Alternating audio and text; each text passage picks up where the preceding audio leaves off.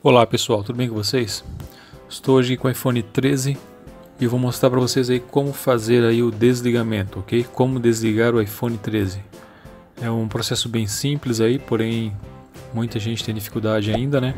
Então esse vídeo aí é para você aí que tem dúvida de como desligar o aparelho, ok? É... Primeiramente a gente tem esse botão lateral aqui, que é o botão de despertar e temos o botão volume mais aqui em cima. Nós vamos fazer o seguinte para desligar o iPhone. Vamos ficar pressionando esses dois botões ao mesmo tempo, ok? Pressiona ele por um tempo, pode soltar.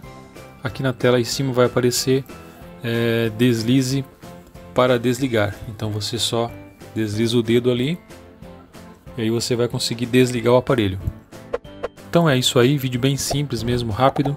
Se esse vídeo aí te ajudou de alguma forma, deixe seu like no vídeo, se inscreva no canal, muito obrigado por assistir e até mais.